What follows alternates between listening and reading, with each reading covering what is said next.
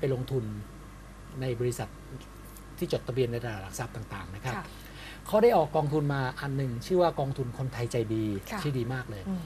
กองทุนคนไทยใจดีเนี่ยนะครับ ทีแรกเขาตั้งใจว่าจะระดมทุนให้ได้สัก 400 ล้านค่ะเพื่อไปลงทุนในตลาดหลักทรัพย์ค่ะปรากฏว่าหลังจากระดมทุนประมาณเดือนครึ่งเขาสามารถหาเงินทุนได้ถึง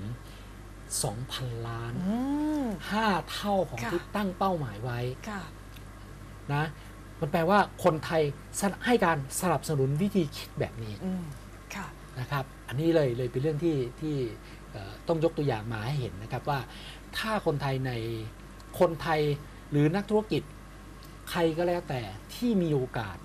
ที่มีพลังอะไรบางอย่างอยู่ในมือค่ะใช้พลังใช้บทบาทของคุณเนี่ยค่ะในการสร้างสรรค์อนาคตของประเทศ ในการแก้ไขปัญหาคอร์รัปชันของประเทศ แล้วสถานการณ์คอร์รัปชัน ของประเทศไทยเนี่ยจะดีขึ้น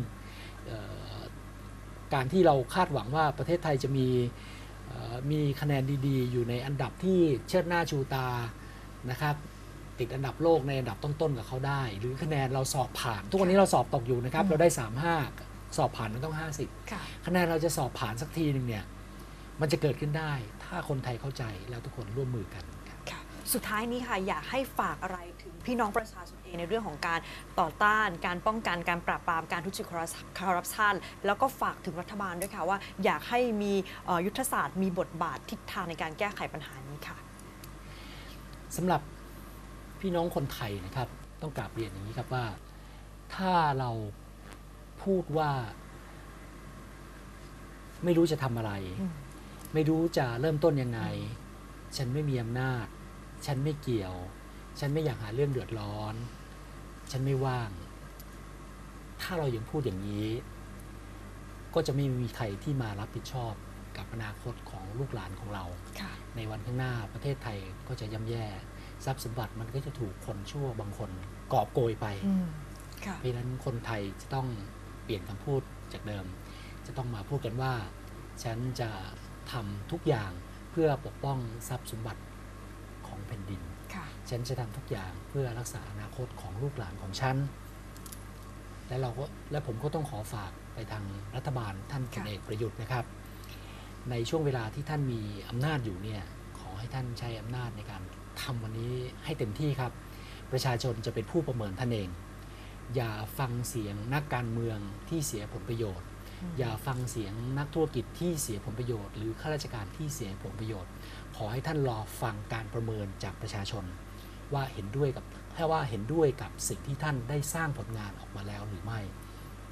และสิ่งที่ท่านสร้างในวันนี้นะครับ สิ่งที่ผมอยากจะเห็นที่สุดก็คือว่า ให้เป็นมาตรการที่มันคงอยู่ระยะยาวต่อไปได้ค่ะคือมีผลอย่างยั่งยืนอืมไม่ใช่มาตรการที่เอ่อออกมาด้วยนโยบายของรัฐบาล แล้วก็ทำในยุคของรัฐบาลนี้นะครับ แต่ทำยังไงมันจะไปถูกเขียนไว้เป็นกฎหมายของประเทศค่ะหรือถูกรณรงค์ถูกสร้างไว้ให้กลายเป็นค่านิยมของประชาชนคนไทยว่า ต่อไป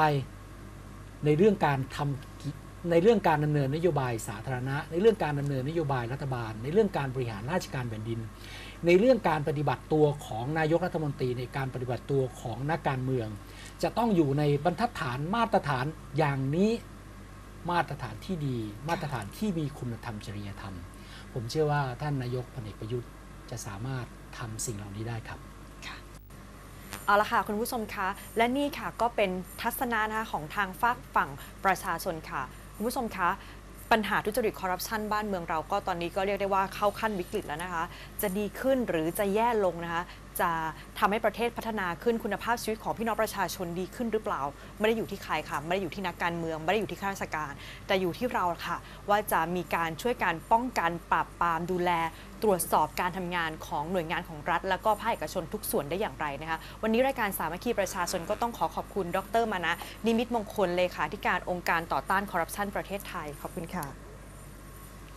วันนี้เวลาหมดลงแล้วค่ะ สัปดาห์หน้าเราจะไปพูดคุยกันถึงประเด็นไหน อย่าลืมติดตามชมนะคะ ดิฉันนัทศรเลิศเตชะสกุลและรายการสามัคคีประชาชนลาคุณผู้ชมไปก่อน สวัสดีค่ะ